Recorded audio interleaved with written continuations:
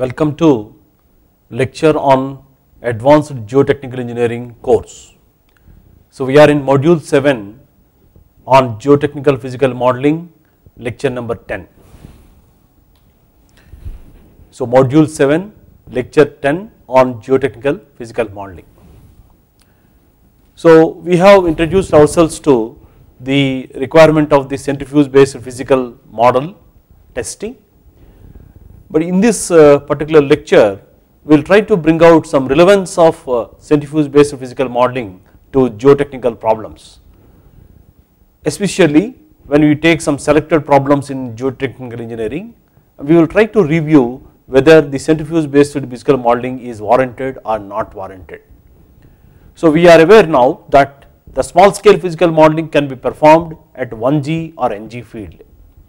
so physical modeling at NG requires a geotechnical centrifuge to carry out model experiments. So in order to carry out uh, you know the centrifuge based physical model test we require a geotechnical centrifuge to induce high gravities. Now consider some few simple situations where physical modeling especially at small scale at 1G may be adequate and others were small scale physical modeling at NG will be required. So where it is required, where it is not required uh, by taking some selected problems we can be reviewed. Now consider as a first example slopes in sand. So here in this particular uh, figure a typical uh, slope uh, which is formed with a dry sand is shown here and the slope inclination of the sand is say beta and a certain height h. Now if we know that this phi is the friction angle and this is the friction angle uh, the maximum friction angle whatever it can uh, have uh, for a stable condition is called angle of repose. So for beta greater than phi that is for slope inclination greater than phi the slope is unstable that means that the slope takes a uh, you know profile which is equivalent to that uh, safe sloping uh, slow safe friction angle. So the slopes in sand are not stable at angles greater than the angle of repose phi in irrespective of the height of the slope. So whatever may be the slopes in sand are not stable at angles greater than the angle of repose irrespective of the height of the slope. So for dry cohesionless sand the stability criterion may be uh, stated as uh, beta as less than phi. For example if the beta is less than phi we can say that the stability of the slope can be ensured. Let us look how this uh, can be explained by using tau sigma plot. So consider you know the on the y axis uh, uh, tau and the x axis sigma and here this is the failure envelope and this is the friction angle. So this is the you know friction angle whatever the soil can take and let beta be the slope inclination. Now if you look into this as long as beta less than phi uh, the slope will be stable that is what actually we have been discussing. Suppose but beta equal to phi that means that all points uh, you know uh, Uh, in this particular uh, line will be in uh, contact with the failure plane. So for beta less than phi the tau is greater uh, tau is less than tau tau f. That means that for beta less than uh, phi you can see that for beta less than phi whatever may be the sigma 1 sigma 2 sigma 3 whatever may be the sigmas the tau will be always less than tau f. Tau f is the shear stress at failure and tau if the shear stress at a particular sigma so for beta equal to phi then tau is equal to tau f for beta is equal to phi moment this line is intersects with the this line uh, this line joins with this line then tau is equal to tau f. So for beta greater than phi the tau is actually greater than tau f so slope would have already failed at all depths when tau greater than tau f the slope would have already failed at all depths. So that means that slopes cannot be raised at an angle steeper than the friction angle whether in small or full scale tests. So slopes cannot be raised at an angle steeper than the friction angle uh, whether in a small scale or in full scale when you do not use any reinforcement inclusions. So slopes in sands when beta less than phi you can say that here uh, for all levels of sigma tau will be less than tau f. Similarly the slope is actually stable and independent of the depth of the slope. For beta less equal to phi then tau will be equal to tau f the slope is just stable and for beta greater than phi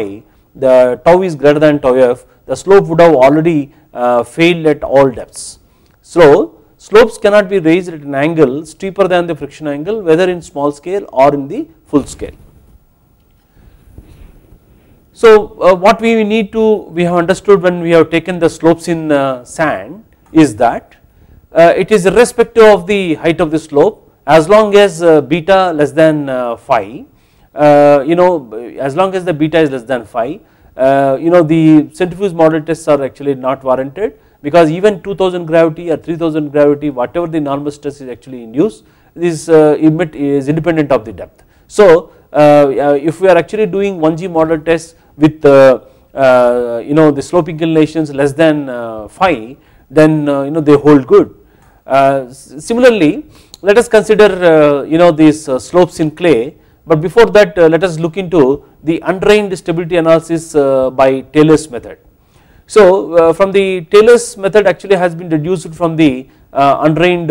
you know slope stability analysis where you know factor of safety is the lowest factor of safety obtained from the circular arc analysis. So from this we can actually write weight of the you know the portion of the soil which is involved within the failure surface is a function of gamma the unit weight and h height of the slope and geometry of the failure surface.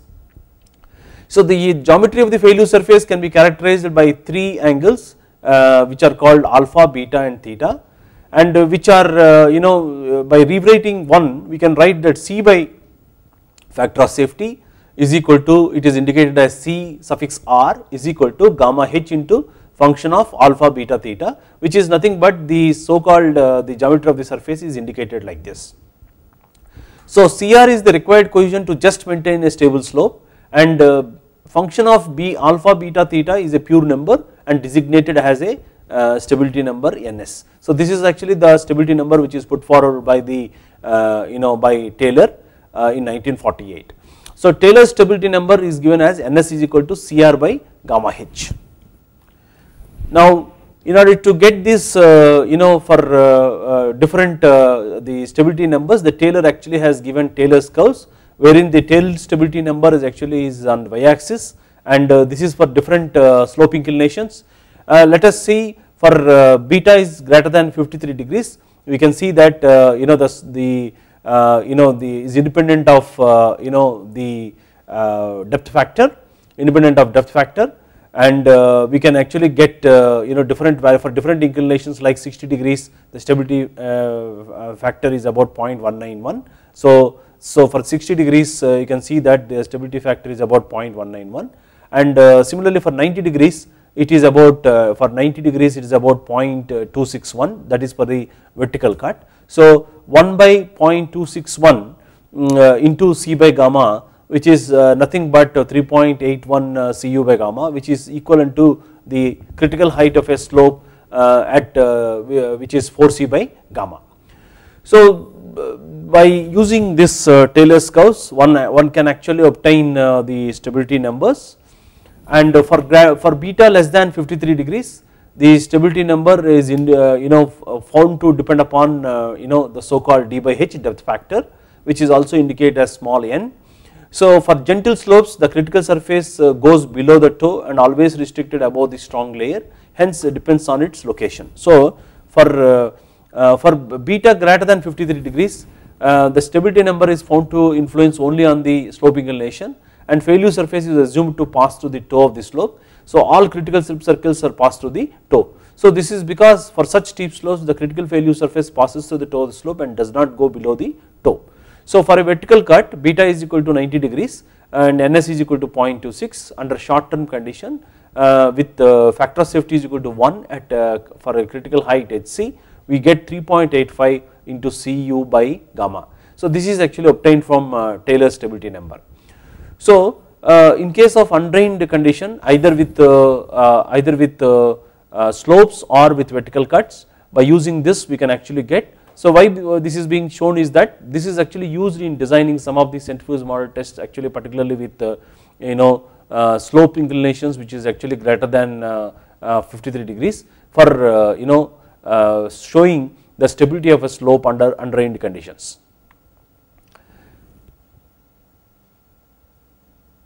Okay. So this is you know for example if you are actually having d by h and beta and beta which is uh, less than uh, say 53 degrees then this is the chart which is required to be adopted. We can uh, see that in that case there is a possibility that the slope surface actually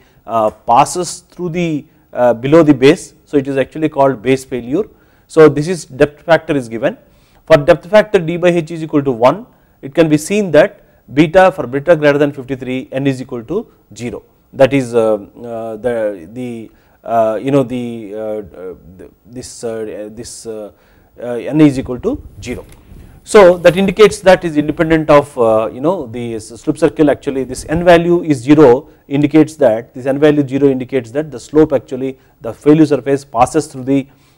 passes through the toe of the slope. So that is what is given NH is nothing but the distance from the toe of the slope, H is the height of the slope and d is the total height once it is given here. So for by keeping d by h and beta and n can be obtained and for d by h is equal to 1 d by h is equal to 1 and beta greater than 53 degrees uh, we get n, n is equal to 0. So that indicates that uh, uh, you know the slope surface uh, slip surface passes through the uh, you know the toe of the slope. So uh, after having taken you know this with slopes in sand we said that if beta less than 5 the slope can be raised to any height even at 1g or ng and the stable slope angle is going to be the same uh, and in this case the actuating force is the body force due to gravity and the resting force is the shearing resistance due to friction. So uh, in case of a slope in sand what we said is that if beta less than 5 the slope can be raised to any height even at uh, 1g or ng and uh, the stable slope is angle is uh, going to be the same. Uh, in the case of in this case actuating force is the body force due to gravity and the resting force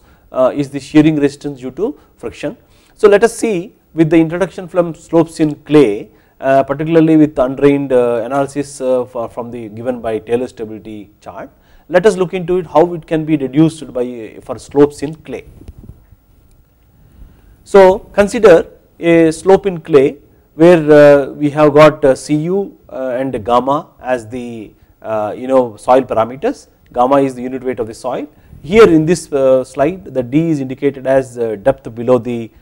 toe up to the film layer and H is the height of the slope, beta is the slope inclination. So we know that the factor of safety is nothing but you know is a function of H, beta, Cu, gamma, D by using either Buckingham's pi theorem or Rayleigh's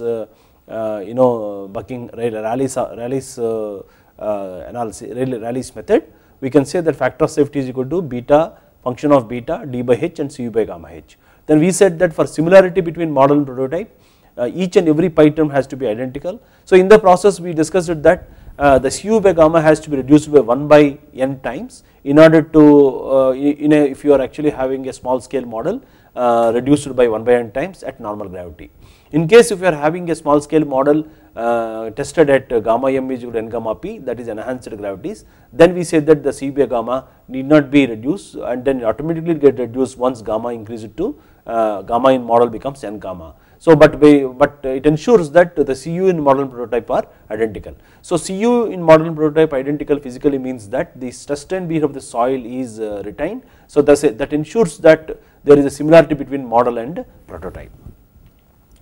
So this we have already discussed. So here it implies that uh, in order to maintain the margin of the safety, same margin of safety, the model and prototype on the uh, not only uh,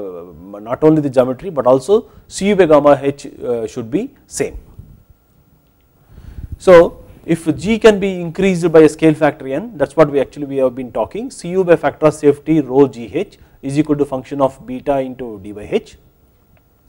If you increase G we reduce H then the soil particles uh, strength Cu and density rho can be kept unchanged.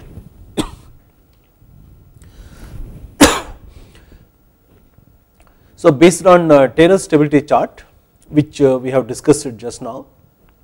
the maximum slope height of the slope uh, that is HC at factor of safety is equal to 1 for beta is equal to 60 degrees is given by uh, the stability factor is 0.191 so we can write Hc is equal to 1 by 0.191 into Cu by gamma. So this indicates that in order to have in order to attain fact, uh, you know critical height the slope actually has to raise to this height so that you know it will actually have a factor of safety equal to 1. Suppose if you are having a model slope of having uh, hm is the model height then the ratio of hc by hm uh, will be uh, you know very high and then you know uh, which uh, you know which will actually ensure that factor of safety will be very high. So the actuating force is the body force due to gravity and the resisting force is the constant undrained cohesion.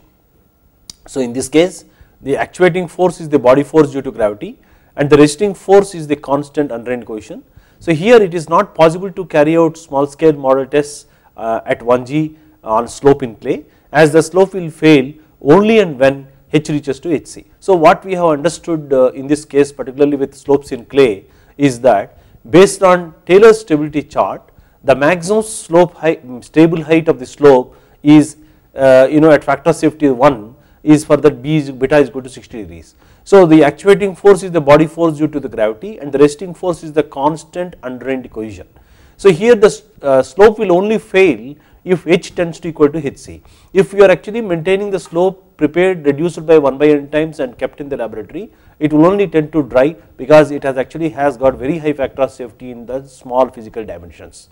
So here it actually says that the centrifuge model testing is actually warranted for you know understanding for a stability of a slope in undrained clay and also uh, there is a requirement that uh, the Cu has to be maintained constant and uh, you know it, it actually clearly says that you know it is not possible to carry out the small scale model test at 1G on slope in clay as the slope actually will only fail uh, as H tends to HC. So let us see some typical uh, you know the slope failures in a centrifuge. Uh, this is after Ruhr University Bochum a uh, front view of the slope before uh, you know testing is actually shown here and uh, this is one of the uh, traditional uh, uh in a very uh, you know uh, earlier testing of a slope which is actually with a kaolin clay. So you can see that once the, the slope is actually you know subjected to failure you can see that the development of the slip surface here. So this is the formation of the slip surface and the heaving portion can be seen here the heave portion can be seen here and uh, the tension cracks uh, formation can be seen here. So this is the slope which is actually formed with uh, a saturated consolidated clay and you can see that the tension cracks. So these are the earlier you know imprints which are actually used for distinguishing you know the occurrence of the failures phase. Nowadays the advancement of the techniques like particle based velocimetry or digital image correlation techniques allow you to look into even the uh, you know formation of shear band uh, shear band thicknesses and the formation of the failures plane and also you know status of the you know front elevation of the model before failure and at failure uh, so there is actually important in, uh, information can be derived. So you can see that the classical uh, you know the slip circle failure which is actually shown here from the testing uh, Uh, done at Ruhr University Bochum Germany. So this is uh, a typical uh, undrained uh, uh, testing which actually the slope model height of the slope is about 18 centimeters that is the h is 18 centimeter. So what actually has happened is that moment the height you know the gravity level increased to 33 gravities then you can see that the slope has actually undergone a slip circle failure and this shows that the validity of the similitude under the undrained conditions. So this uh, shows that the requirement of the you know the uh, you know, centrifuge basic physical model test to induce uh, failure and then here it means that the critical height of the slope is nothing but 33 into 180 mm. So that is equivalent height in meters is the you know critical height at, of the slope at this particular soil at failure. So uh, this relationship between prototype and model heights at clay slopes at failure is shown here. So here uh, HM is equal to 18 centimeter it can be seen that uh, you know the slope is actually found to fail at uh, uh, you know uh, 33 gravities which is actually shown here is about the height of about 6 meters. So these different heights of the slopes have been tested and you can see that uh, the here these are the large uh, centrifuge equipments were used and this here the small centrifuge equipments were used. So the errors due to some small centrifuge uh, testing actually lead to some you know some discrepancies but what can be seen is that when you have a large beam centrifuge uh, we can see that the consistency in results the modeling of the models uh, were found to speak well and uh, indicate the performance of a you know critical height of a failure whether it is at 5 centimeter 5 centimeter or whether it is at 12 centimeter whether it is 18 centimeter you can see that the horizontal plateau can be obtained. So uh, this is the prototype height in, uh, in meters in y axis and model height in x axis. For example, here it shows that when model height is uh, uh, you know uh, is uh, is somewhere say 18 centimeters and if prototype height cannot be equivalent to that because this is the height at failure. So it actually has you know um, you know this is at factor of safety is equal to 1. So the merit of the large centrifuge also is shown in this particular slide. So after having uh, seen uh, two examples of slopes in sand wherein we said that uh, centrifuge model testing is not required as long as the sloping inclination is less than uh, uh, phi that beta less than phi. And if the sloping inclination is actually greater than uh, phi we said that the slopes are tend to fail. But when we come to slopes in clay particularly undrained conditions with phi is equal to 0 we said that the centrifuge model testing is warranted. And uh, so let us uh, try to look some two different uh, distinct bearing capacity problems. One is the footings on sand. Uh, let us say that consider a, a footing having a width b uh, is subjected to uh, Uh, you know at a embedded at a depth of uh, df uh, is subjected to a concentric load of q. So in the case of footings on sand the bearing capacity in addition to friction angle depends upon the, the size of the footing. So let us look into this these are the typical failure planes you can see that this is you know the elastic wedge which is actually formed and then these are the radial shear zones and this is actually resistance uh, generated in the uh, embedded depth zone for a above the base of the footing. So this inclination is about 45.5 uh, 45 minus 5 degrees 45 minus 5 by 2 45 minus 5 by 2 and this size is the breadth of the footing. And this is the resistance which is actually derived to counter this movement. For example when the footing load is applied and this block moves this side and this blocks move this side. And this is countered by the friction actually mobilized along the periphery of this uh, failure surface. These are the uh, failure surfaces typical failure surface which are actually shown in this particular slide. So this is uh, the effect of the embedded depth of a footing that is nothing but the gamma df that is confinement due to embedded depth. Now we can actually get for the footing on sand let net ultimate bearing capacity that is nothing but q ultimate minus gamma df is nothing but qd is equal to half gamma b n gamma plus gamma df Uh, into nq minus 1. So this is uh, we have taken like a continuous footing. So uh, wherein uh, we, we have written that net ultimate bearing capacity is equal to qd is equal to half gamma b n gamma plus gamma df into nq minus 1. Now this is simplified by writing qd is equal to q n gamma by 2 plus q into nq minus 1 into df by b into b the whole bracket is multiplied by b. So this implies that the wider the footing the greater is the bearing capacity. So the wider is the footing greater is the bearing capacity. Further the bearing capacity of footing on sand is uh, derived from two sources one is uh, from the frictional resistance due to weight of the sand below the level of the footing other one is the frictional resistance due to weight of the sand surrounding the surcharge uh, or the backfill that is you know due to this and due to you know all around the footing particularly in this zone also. So one is resistance offered in this zone and resistance offered in this zone that is what actually we are talking.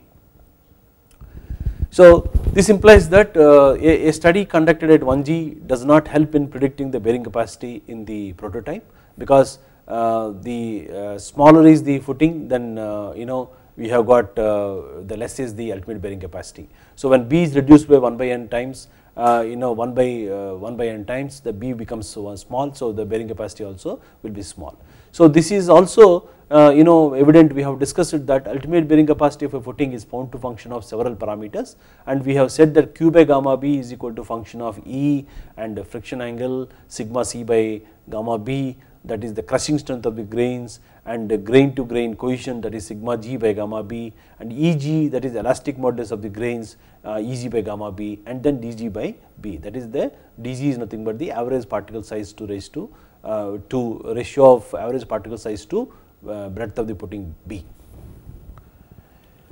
Now, uh, so we have said that footings on sand uh, because of the uh, you know the requirement whatever we have discussed uh, in order to have the similarity the centrifuge model testing is required because where the q ultimate is actually found to a function of qd net ultimate bearing capacity is found to function of the size of the footing. Let us see in case of clay uh, undrained uh, condition where phi u is equal to 0 and we have only the resistance from Cu that is the shear strength of the soil and weight of the wedge and shear strength of soil along the failure plane tends to resist failure. So you can see that the failure planes are distinctly different uh, you know in case of a uh, you know clay but when you when you took here in case of the uh, you know uh, sand you can see that the failure plane the elastic wedge is actually formed and the failure plane is actually this uh, portion is actually shifted vertically down. So this is because of the, the roughness and the friction of the uh, friction caused by the material that is the surrounding soil and that is the sandy soil but in case uh, in case of clay that is uh, absent so because of that you actually have uh, you know the failure plane starts immediately from that the, the elastic wedge uh, formation will not be will be non-existent. So you can see that this is uh, you know the typical failure surface which is actually forms here. So the, for the footings on clay the normal force across the surface of the sliding can produce no frictional shear resistance on account of phi u is equal to 0. So ultimate bearing capacity can be given by Qu is equal to uh, CuNc plus uh, gamma df. Then net ultimate bearing capacity can be obtained by Qd q suffix d is equal to Cu Nc plus gamma df minus gamma df. So it is actually function of only the shear strength of soil and uh, Nc. For long and continuous uh, footings we can write net ultimate bearing capacity is equal to 5.14 Cu and where Nc is equal to uh, 5.14 here. For rectangular footings uh, big uh, for uh, having dimensions breadth and length then we can write from Skempton 1951 uh, as QD is equal to 5.14 Cu into 1 plus 0.2 uh, into df by b plus 1 plus 0.2 into b by l. So these are the depth factor and uh, shape factors which is nothing but 5.14 Cu Cu that is nothing but as uh, you know uh, this is a concentric load the inclination factor is equal to 1. So 5.14 Cu into 1 plus 0.2 into df by b uh, into 1 plus 0.2 into b by l. So this can be seen that uh, in case of a saturated undrained clay when we have so even if you take tau, tau versus uh, sigma the Mohr circles actually uh, will will exhibit identical diameters that means that is irrespective of the the cell pressure we apply it is uh, whatever the uh, you know the cell pressure we apply you know the it actually generates the corresponding sigma 1 such that the sigma 1 minus sigma 3 is constant so that indicates that we actually get a horizontal uh, failure envelope and which is uh, independent of sigma. So because of this particular uh, you know using this particular logic when we have got a saturated undrained clay because as the in the case of undrained condition as there is no volume change actually occurs. So the tau is equal to Cu uh, which is uh, in case of a completely saturated and undrained condition. So in that situation what actually indicates is that uh, you know in reality if you are actually having the similar uh, you know bearing capacity problem testing on clay it says that uh, you know the centrifuge model testing is not really required and 1G model testing the small scale model testing is required here there is no term actually of the effect of you know the the so called the breadth of the footing is independent of the the size of the footing. So it means that uh, you know as long as we maintain this uh, you know constant cohesion and, uh, and for the saturated undrained conditions it actually appears that the centrifuge model testing is not warranted for footings on clay. So that is what actually has been uh, described here. Here the shear strength is constant and equal to Cu hence the 1G model tests are actually valid in this case as the model size is not uh, important and centrifuge experiments are warranted. Uh, centrifuge uh, uh, model tests are not warranted. So let us take uh, cantilever sheet pile walls in sand. let us assume that we have got a retaining wall which is having a height retaining height h and d is the embedded depth and this is the dredge surface. Now if you see that this particular ratio if d is actually small and if uh, d is d by h is actually say ensures uh, you know if d by h is small then there is a possibility that instability comes into picture. So the wall will be stable if d is greater than alpha into h where alpha is a function of friction angle phi and where h is the height of the uh, wall retaining the soil. So here in this case the actual uh, uh, force actuating force is the body force due to gravity and the resisting force is the shear, shear resistance generated due to friction. So the scale of the model is not important um, you know whether we do experiment uh, at 1G or NG provided you know if you are able to mention that um, if you are able to maintain T uh, D greater than alpha H. So theoretically it actually appears that the centrifuge model tests are not required but uh, you know uh, in, in the forthcoming slides we will actually look into that uh, that how uh, you know the uh, the centrifuge model tests uh, we show a different behavior. So here you know if you consider a cantilever sheet pile wall so here also there are two types of you know sheet pile walls one is very flexible and other one is say rigid sheet pile walls. In case of rigid sheet pile walls what will happen is that the wall rotates about a certain you know point that pivotal point above the toe but in case if you are actually having very flexible uh, sheet pile wall there is a possibility that the wall undergoes uh, you know a failure uh, you know buckling failure here and undergoes you know permanent hinge formation can actually occur here somewhere here where that is the point where the maximum bending moment is generated. So theoretically for cantilever sheet pile walls in sand uh, it says that uh, you know the centrifuge model tests are not warranted as long as uh, d is greater than alpha h where alpha is a function of uh, friction angle phi. Now let us consider for stability of the wall uh, particularly if you are actually having uh, clay. So in this case both on the um, dredging side that is most this is the dredge level and this is let us say a point A and this is the D embedded depth and here this is the retaining height and here and here both actually locations we have clay. So let us look the how the stability of the wall uh, this particular expression is obtained uh, through a detailed explanation wherein we can actually look here uh, with uh, the for the same example here the cantilever sheet pile wall in clay where phi is equal to 0 and uh, with under uh, with with prevalent cohesion only. So here uh, we can we it, what what actually happens is that the wall rotates about a uh, you know a toe that is actually this point here and this is the rigid surface and this is the retaining height and this this is actually the level at which up to which the tension cracks can occur. So Z naught is nothing but the uh, the depth of the tension cracks and uh, now let us see sigma a is equal to active earth pressure is equal to Ka sigma v minus 2c root Ka. But because of the phi is equal to 0 uh, Ka is equal to 1 and Kp is equal to 1 okay? And the sigma p is equal to that passive earth pressure because here the wall moves away from the backfill and here it actually uh, moves towards the backfill here. So here the passive case actually arises. So sigma p is equal to Kp sigma v plus 2c root Kp. Now let us uh, take uh,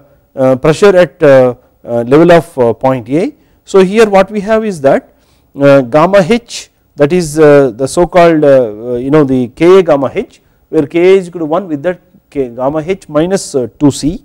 and which I can write it like gamma h is equal to gamma h minus Qu because Qu unconfined compressive strength of the soil is equal to 2c so we can write gamma h minus 2c. So this ordinate at this point just above the dredge line is gamma h minus 2c.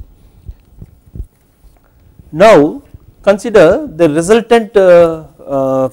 of the passive and active pressure at any depth y below the dredge level that is so if this is the dredge level whatever we have said and uh, we can actually take below the dredge level that is at y is equal to 0 it is at the you know dredge surface that is at point A. So the net pressure is actually obtained as gamma v that is nothing but you know which is nothing but this portion plus gamma v plus 2c gamma v plus 2c is nothing but because y we are actually measuring from this point. So ka gamma v kp gamma v. So kp gamma v kp is to 1 so gamma v plus 2c minus gamma h that is plus gamma y. So h plus y is becomes because this entire portion is under active case. Okay. Gamma h plus gamma y minus 2c that is uh, Ka gamma h minus 2c root Ka. So as Ka is equal to 1 we can write gamma h plus gamma y minus 2c by simplification the net pressure is nothing but 4c minus gamma h this is at y is equal to 0 we also get at y is equal to 0 uh, we get 4c minus gamma h that means that 2qu minus gamma h. Now by equating by this is the net pressure diagram where we have got 4c minus gamma h acting over depth, depth d and gamma h minus 2c acting over uh, this depth uh, excluding uh, you know the so called you know the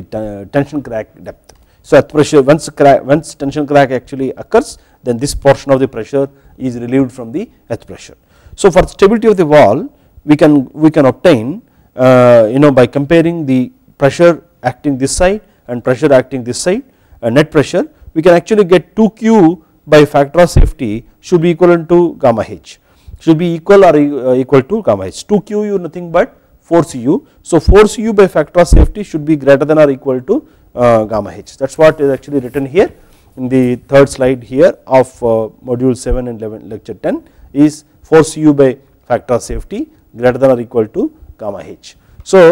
this is what actually we have used in uh, explaining uh, you know whether the centrifuge model tests are required or not is by 4 cu by factor of safety greater than or equal to gamma h. So this is actually obtained from the net pressure diagram which is active side and the passive side below the dredge level. So in this case the soil is saturated having constant cohesion. So it actually appears that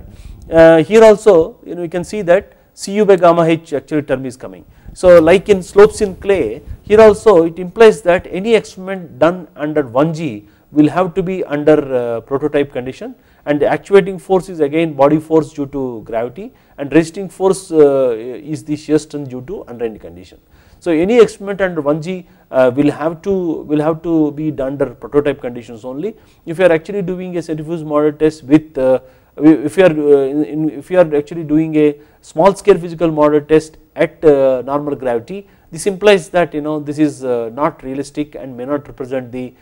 you know the equivalent full scale model Uh, uh, in the field.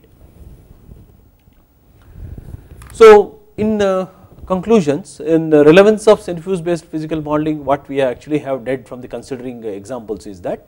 when the body force due to gravity is the only actuating force, the shearing resistance due to friction is the only resisting force, then 1G model test would be adequate for studying the phenomenon. That means that including the ignoring the dilatancy of soil. When the body force due to gravity is the only actuating force and the shear uh, and the shearing resistance due to friction is the only uh, resisting force, then 1G model test would be adequate for studying the phenomenon.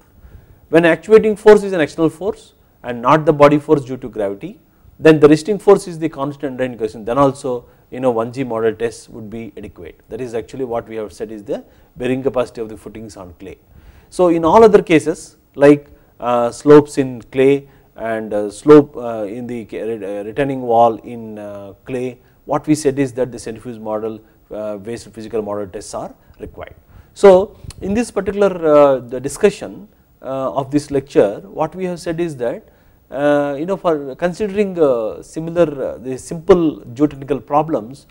we try to bring out the relevance of the centrifuge physical model testing then what we said is that like in in in agreement with whatever we have been discussing. If you are having footings resting on sand it says that the centrifuge model testing is required. When you are actually having footings resting on clay uh, it says that the 1G model tests uh, will uh, stand good. And if we are actually having you know the cantilever sheet pile walls in clay it says that the centrifuge model testing is warranted and uh, when you are actually having uh, centrifuge uh, you know cantilever sheet pile walls in sand it says that the, our analysis says that theoretically the centrifuge model tests are not warranted you know because uh, as long as uh, d is greater than alpha h. So now you know this particular uh, you know discussion about whether the centrifuge model tests are warranted particularly for modeling modeling, modeling of a cantilever sheet pile wall let us look into this with the, tests which are actually have been done at IIT Bombay. So here the failure modes of cantilever sheet pile walls are given. So we have two typical failure modes one is the wall failure uh, you know other one is the material failure. So uh, in the case of uh, the upper figure where the the you know what actually happens is that you know the material failure the soil failure occurs the failure due to rotation about point A. So you can see that the wall undergoes a failure rotation and about a point A that is the point of rotation then we have got active pressure and a passive pressure and here it, this portion comes towards the uh, you know passive zone and this is active zone. So um, this is the uh, net pressure where uh, you know where you have got active and then passive and then here, here again passive and then active. But in case when you are actually having a failure due to formation of a plastic hinge that is the material failure material of the, the sheet pile wall and if H is the uh, you know height uh, of the retaining the soil above the dead surface D then you know we can see that this is the active pressure and this is the passive pressure and at this point this wall tries to undergo rotation and formation of a plastic hinge actually takes place here. So this particular issue was actually has was modeled uh, by using variable gravity method uh, and then also verified by using uh, you know uh, by uh, by numerical modeling. So here uh, consider a cross section of a flexible retaining wall test setup where the wall is actually instrumented with strain gauges basically to measure the bending moments. So the bending moments are actually obtained by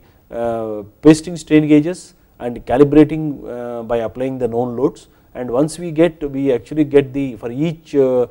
application of the load we will get the bending moment uh, theoretically can be calculated and for each application of the load the response of the strain gauges uh, to the applied load can be obtained. So based on that for each strain gauge uh, a calibration factor of uh, bending moment with uh, volts can be with the output volts can be obtained. So the uh, in the linear range if you are actually taking and that is actually gives the calibration factor for the uh, individual uh, strain gauges. So once during the test once it is actually subjected to let us say in this particular method what we have done is that we have taken a plane strain container we are having 76 centimeters in length and uh, 20 centimeters in the breadth and uh, having uh, you know retaining height of 21 centimeters and 15 centimeters is the in a embedded depth and the wall is 2 centimeter above the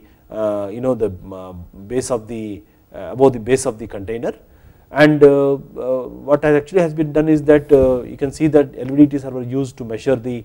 surface settlements and LVDTs are used to measure the lateral movements and these strain gauges are used to measure the bending moments during flight. So here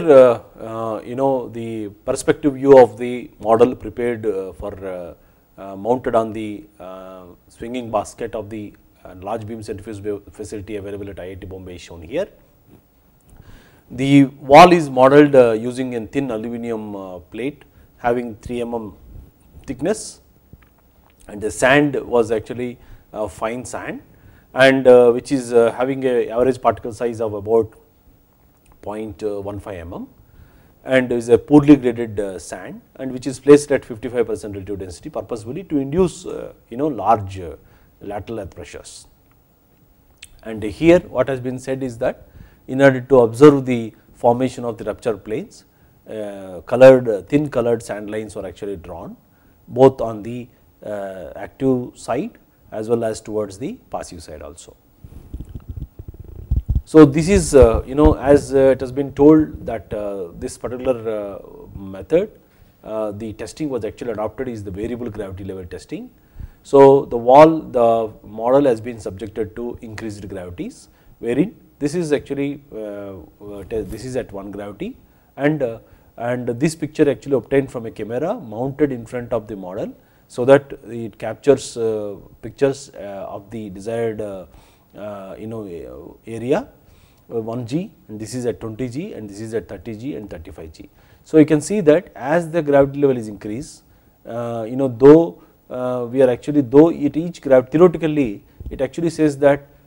you know the d by h ratio at 1 g it is stable but it does not mean that you know as 20 g the same stability is actually ensured. So that is what actually uh, in the previous discussion when we have discussed about the relevance of centrifuge based physical modeling, we said that uh, as long as uh, you know d is greater than alpha times alpha times h, we can ensure that factor of safety. That is only valid theoretically, but in reality it also depends upon the uh, you know uh, the uh, the stiffness of the sheet pile wall. And you know in case of when you have got a you know some flexible sheet pile walls uh, Uh, which are actually very weak in nature then you can see that uh, you know you have got a situation like uh, the formation of a uh, you know the plastic hinge and then the development of the rupture lines can be seen very clearly here. So the close view of the picture at 35 gravities is actually shown here. So this actually shows that the wall actually has undergone a permanent deformations and the bottom portion is not subjected to any movement and it can be seen that and this portion actually has undergone the multiple cut like uh, you know uh, slip planes. And this indicates the so called when we take uh, different lines. And at the top also this has been observed over the length you know the breadth of the container because and the we have taken a plane strain container. So because of that the entire portion get shifted downwards like a step type deformations. And uh, so this is one of the classical uh, failure which actually uh, observed for the deformation of a sheet pile wall embedded in sand with a very very low uh, you know stiff uh, wall. So this is variation of the retained soil settlements with the distance from the back of the wall. So you can see that uh, when uh, at 20 g, 30 g, 35, 40, 50 g, you can see that the settlements uh, continue to increase. So these are the crest settlements and these are the settlements away from the you know from the crest of the wall. So uh, again uh, so has been told here so this is actually from the front elevation can be seen that and this is the wall so these are the step type deformations which are actually shown and uh, the close view of uh, the wall with the Rankine rupture planes is actually shown here. So he can see that this one one plane passing here and one plane passing here and uh, uh, the the plane actually finally culminates at this particular point here. So the from the uh, data which is actually obtained from uh, uh, strain gauges and uh, the uh, bending moment is actually plotted. So you can see that the bending moments are found to increase with G level. So this is at you know 10 G, 20 G, 30 G like that and once we have you know dropped the gravity to you know to 1 G. So there is a net bending moment which is actually is shown here also. So you can see that Uh, with a uh, during uh, uh, once the centrifuge test actually reached beyond gravity level up to 35 g. So you can see that uh, you know the sharpness of these curves tend to increase and with the actually which actually happened because the wall has actually has been subjected to a bending moment which is actually more than the plastic moment capacity of the wall. If that attains actually there is a attenuation of uh, plastic hinge takes place uh, that is what actually happened in this particular case. So here uh, the same uh, issues actually uh, you know compared uh, with you know finite element analysis of the same problem with increasing gravity by using Swan software wherein when you compare here you can see that at this particular point the plastic moment capacity of a 3 mm thick wall made of aluminum having uh, you know Eg that is the E of aluminum about 72 gigapascals which is actually obtained as uh, you know uh, the plastic moment capacity is about 326.67 Newton meter per meter. So it can clearly see that this particular point actually it has crossed that plastic moment capacity and went into or formation of a plastic hinge failure the uptime. In case of finite element method also you can see that uh, the sharpening of the bending moment can be observed. So uh, this is uh, the deformed uh, deformation of the soil elements on the sheet pile walls at 35 G basically you can see that here also the plastic hinge formation can be seen very very clearly. So variation of the cumulative maximum bending moment with uh, G level is actually plotted and uh, when you when you see that uh, as with an increasing G level the bending moment is actually increasing the same situation also measured in the you know FEM and this is actually level where you know the so called uh, 326.6 Newton meter per meter that is the plastic moment capacity. So you can definitely say that somewhere between 35 to 40, uh, 40 to 45 the wall actually attained or uh, you know the plastic hinge formation actually has uh, taken place, inception has taken place and uh, developed further. So this is what actually you know we have proved by using this. So you can see that the post investigations have actually revealed that the so called uh, you know the plastic hinge actually formed 52 mm below the uh, you know below the dredge line and uh, this is the 150 mm which is the depth. So you can see that this is actually point physically uh, you know here at this point. So you can see that uh, you know this is the point where the sharpening of the bending moment also occurred. So this is uh, you know this is also correlated with one of the you know problem uh, which actually happened in uh, one of the uh, project in in one of the sites wherein in order to have some diaphragm wall construction 7 meter uh, you know behind this particular face of the wall uh, the, what actually has happened is that the wall was actually observed to deform at the, at at, uh, at this level the wall was actually observed to deflect about 0.5 meter also. When the post investigation analysis actually have been carried out it has been found that you know the wall which is uh, element which is used was having inadequate section modulus and that led to the formation of a plastic hinge. So uh, you know this is actually the relevance of the what particular practical problem what actually has been discussed but the only difference is that in case of uh, in this problem there is a uh, dredge level and then occurrence of what is also there. So let us consider uh, you know a typical uh, you know failure uh, study for a test at 40 G. So here a same container is actually used wherein we actually have got a,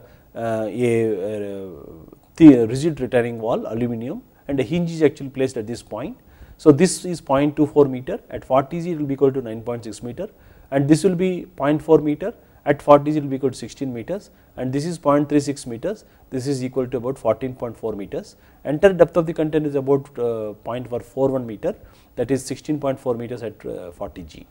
So the base layer is actually having uh, 0.06 meter into 40 is about 2.4 meter and uh, here this portion is actually fixed in order to prevent the sand particles entering into the hinge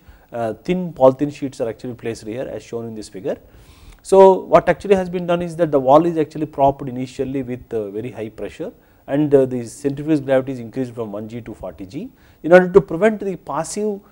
you know uh, passive uh, uh, mode of failure a mechanical stopper was actually provided this side so that you know Uh, the uh, wall will not move towards the uh, you know towards the backfill. so we, here particularly we wanted we are interested in modeling the active mode of failure for a retaining wall. So once we wanted to model the active mode of failure what actually has been done is that once we reach to that particular gravity uh, so this when we withdraw the pressure at this point to 0 then what will happen is that uh, the wall tends to move away from the backfill. So this is clearly shown in the next slide with a GIF animation uh, which, which can actually shows that this is actually a picture taken by a camera at 40 gravities. So you can see that uh, the pressure which is actually released uh, uh, when attains in 40 G. So you can see that the formation of you know rupture planes so this is the test which is actually we have done at uh, 40 gravities and uh, where you can see that the failure surface actually moves uh, like occurs Uh, like this. So this is another typical example of uh, you know the retaining wall uh, mode of failure particularly active state of uh, failure which actually can be uh, is actually tested at IIT Bombay. So in this case uh, consider you know let us say that we wanted currently very recently in 2013 a, a in-flight support system was actually developed wherein what we have is that let us say we have got a reinforced soil wall or a soil nailed wall or uh, you know you have got a particular wall. Uh, so what we actually have uh, is that we have got a, a wall support system which is attached to a frictionless bearings and there is a mechanical stopper and then a pneumatic cylinder is actually placed here. Let us say that we actually have got two ports and one port allows to put pressure here, another port allows to pressure put in the pressure in the reverse direction. So let us assume that initially we have got a P2 is applied and uh, the wall is actually held uh, uh, you know uh, from coming toward this side by restraining with a force adequate force. And here also the care has been taken that the wall will not move by putting a mechanical stopper towards the soil wall being tested. So let us look into this and how this happens. Once we this is at 1G status. So once we go we actually go to NG that means that uh, we have got an equilibrium or K naught condition is achieved by uh, you know establishing your forces equilibrium in forces because of this pressure applied and uh, because this wall is actually supported on these frictionless bearings so the wall height wall weight and all those things will not come into the picture here. The next level what we do is that we try to apply pressure uh, P4 and remove the support so that now this particular wall at uh, say ng uh, if h by n is equal to is the wall height and when this actually happens at ng so its equivalent height is equal to h meters in the prototype. So let us look this in the you know the real you know demonstration wherein we can see that a 10.8 meters of wall at 40 G you can see that how the wall is undergoing deformation uh, because this particular uh, technique allows want to test actually uh, you know the uh, the movement of the central wall support system uh, is also monitored uh, by using uh, you know you can see the LVDTs which are actually placed here and they measure how much. So this actually moves by about 5 centimeters uh, in in a short duration. So with that what actually happens is that we can actually see that how the wall undergoes movement and then this actually can have an impact on the you know the deformation behaviors and other aspects can be studied. So this is uh, you know type of uh, you know test which actually has been done uh, by at IIT Bombay by developed in-flight wall support system at 40G. So this is a typical some reinforced soil wall constructed with marginal backfill material and where uh, it is compacted at wet side of the backfill. So you can see that there is uh, you know the tension cracks are actually formed, uh, multiple number of tension cracks are formed and which actually led to the excessive deformations of a wall at the top of the in the topmost zone and uh, this is uh, this so similar situation if the wall is actually there in the field this one then you know we can see that this type of deformations can actually happen at uh, for a 10.8 meters wall. So in this particular lecture what we try to understand is that uh, the relevance of the uh, centrifuge based physical model testing we are trying to bring and then based on that we actually also try to see some selected examples. So in this module geotechnical physical modeling where we have seen that uh, uh, you know this how uh, small scale physical model testing at uh, uh particularly carried out at high gravities is relevant to many of the geotechnical problems and we also have brought out is that uh, if you are actually having certain uh, conditions like uh, like say footing resting on clay there is a possibility that you know